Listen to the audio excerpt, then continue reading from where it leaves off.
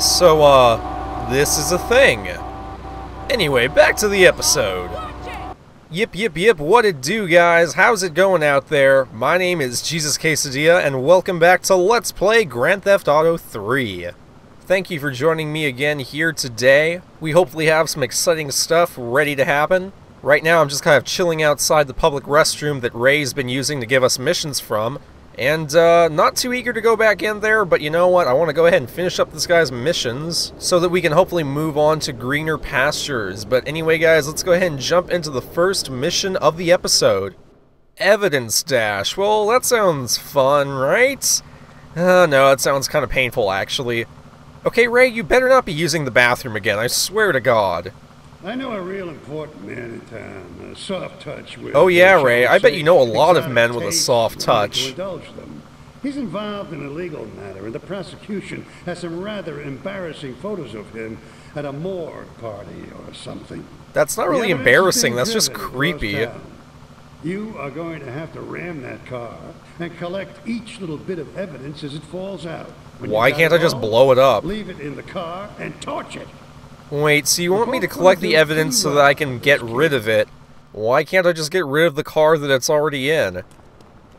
Uh, sometimes this game makes very little sense, but okay, we're gonna play by its rules, for now at least. Geez, all that time Ray spends in the bathroom, I wonder, what does the guy eat? He probably just, like, eats the hand soap or something.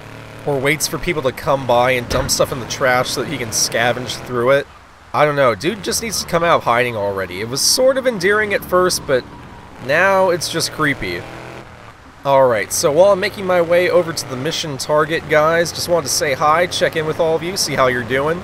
I had a real late shift at work today. I didn't get off until 8 p.m., and I had an hour drive home, so I didn't get home until 9. So I'm actually really exhausted and tired, and I'm recording the episode a lot later in the day than I normally do, but you know what, it's fine. I mean, it's really hard to complain when you come home and play video games every day. That really isn't too bad a deal. But yeah, I hope things are going well for all you guys out there, and uh, looks like we're coming up on this truck pretty darn fast here. I probably could have stood to get a better car for this mission, but whatever. Um, whoa, geez, this guy's just gonna crash and drop the evidence for me. Oh, and great, we already have a two-star wanted level. That's just peachy. But okay, so we gotta get six pieces of evidence? I hope our wanted level doesn't, like, keep getting higher or something like that. I could so see the game doing that. By the end of this, I'm sure I'll have, like, a four or five star. I remember when Grand Theft Auto Vice City came out and I first played that game. Um, back then, I was, like, probably, like, 9 or 10 years old. I forget how old I was when the game first came out, but it was a long time ago. At least, for me, it was. I actually didn't buy the game for myself for a while, though. Um, I first played it during New Year's. My uncle came to visit us and he brought a PS2 along with a copy of the game. I think he rented it from Blockbuster or Rent-A-Center or something like that. Um, also, I'm just going to try and see if I can hit all the evidence out of the back of the truck and then go back and collect it all. I feel like that would be a lot easier. Unless it's not going to let me do it.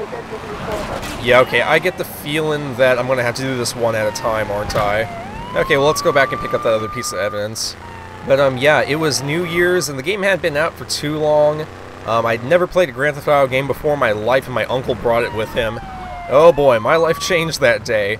Um, except I remember back then, I wasn't really concerned with beating video games or following the story or anything like that. I kind of just played games to have fun. And so I remember my favorite thing to do in Vice City when I first played it was just to get a really high wanted level and see how long I could survive with it. I mean, I don't think I even played the first story mission. I don't think I did any missions at all. I just kind of ran around shooting people, trying to rack up money so I could get better weapons and stuff like that. Which, I don't know, it's kind of cool to me that back then I really didn't even care about the storyline in video games and that I could kind of make my own fun out of it just by playing it. I also think that at that age I didn't quite have a grasp of exactly how violent the game was. Um, something about it didn't really hit me that this was a really violent video game. I guess because I was used to playing video games where you could do that kind of stuff, but it was less realistic. I mean, I played GoldenEye on the N64, and in that game you kill people, but it wasn't quite at the point where it felt really realistic. Um, not until Vice City did it really feel like you were really doing some destruction and some harm. I think that was just a really big crossroad in my life. The day my uncle brought Vice City for me to play. It wasn't even for me to play. I don't think he intended for me to play it.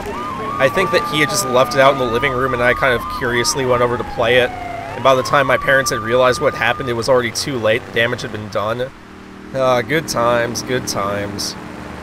And then I remember after my uncle left, I wanted to go and get my own PS2. And I could actually get one because I think I'd gotten some money for Christmas that year, so uh, it wasn't a problem of me being able to afford it. But of course, when I went to GameStop and I went to buy a copy of Grand Theft Auto, the guy was like, Oh, you're not 18, you can't buy this game. So I had to talk my parents into getting it for me. And um, I remember my parents, because they had seen the video game, they knew it was some pretty crazy shit, and they weren't really sure if they should get that kind of thing for a 10-year-old. Um, granted, I had already played it, so I was corrupted by that point anyway. It didn't really make a difference whether they got it for me or not. But um, I remember the deal that my dad tried to make with me was that he was willing to get me a game that was violent as long as the violence was directed in a positive way, if that makes any sense. So he didn't want me playing a video game where I played as a criminal, like Tommy Vercetti, but um, his kind of like way of meeting me halfway is that he was willing to buy me a copy of uh, Dead to Rights, which, if you guys aren't familiar with that game, basically you play a cop who gets kicked off the force, and so you kind of have to go rogue vigilante on a bunch of bad guys, but you essentially play a good character, um, and so all your violence is you're killing bad guys and criminals, um, compared to Vice City, where you may very well be killing innocent civilians and that kind of thing. So I get what the difference was, but yeah. Steal a police boat. Make sure his backstabbing plans are sunk. okay. Sleeping with the fishes, not eating them. Alrighty, sounds good, Ray. Uh, let's go ahead and do this mission. But um, yeah. So ultimately, the end of that story is that I ended up getting Dead to Rights and Grand Theft Auto.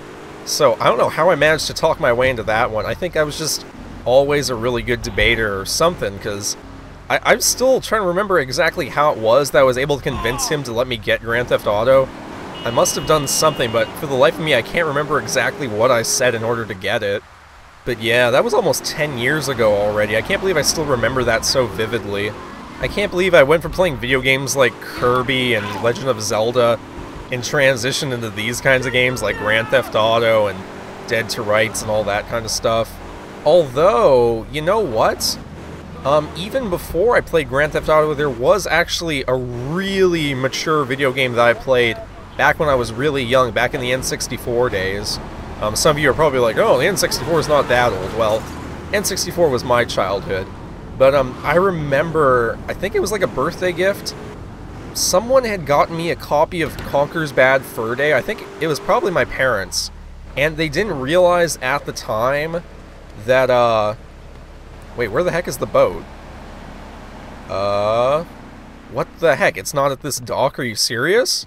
Oh, oh, come on. The game map totally tricked me. It looked like it was at this dock. It's actually all the way over on the other side of the map.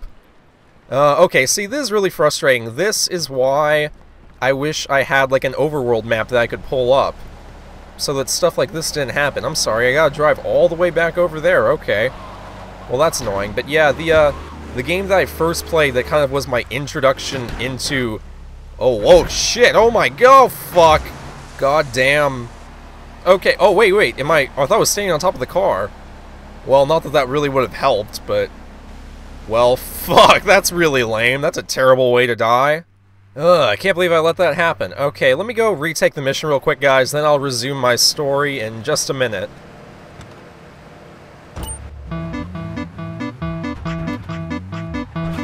Me, me, quick, quick, oh, oh, oh. Quick, quick, oh, me, oh, me, me, oh, oh, me, oh. Me, me, quick, quick, oh, oh, oh. Quick, nah, me, quick, oh. Me, me, me, oh, oh, me, oh, me, me, oh, quick. oh, oh, oh, me, oh, me, oh. Me, me, quick, me, oh, oh, me, now, me, me, oh, quick. oh, oh, quick,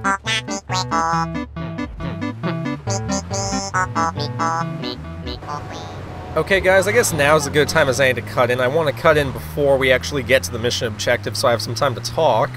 But, um, yeah, before I got interrupted by me dying, um, the game that I think first introduced me to kind of like mature video games was Conker's Bad Fur Day back on the N64. Um, I think they actually remade it with better graphics on the Xbox, but um, I've never played the Xbox version. I've only ever played the N64 version. But um, Conker's Bad Fur Day was a crazy game for me back when I was a kid, because um, I think my parents had bought it for me not knowing that it was rated M, like the person selling it didn't tell them or whatever. And so they got me this game, and they're like, oh, there's this squirrel on the cover, or whatever Conker is. I think he's a squirrel. Um, and they're like, oh, this must be fun. And so they got it for me, and we load up the video game, and the first thing that happens is a cutscene of Conker stumbling out of a bar, completely drunk out of his mind, and he like pukes all over this guy and starts like swearing at him. And at that moment, my parents like immediately realized they had made a huge mistake. Wow, okay. You know what, forget the ambulance, we're like right here. We don't need the amber lamps. But yeah, for one reason or another, my parents didn't actually take the video game away, they just kind of let me play it. Um, I mean, they watched me just to see exactly what was happening in the game, and I never got too far into it because, as I recall, it's actually a really difficult video game. Um, especially me being a little kid at the time, I really didn't know what I was doing, so I didn't make it that far.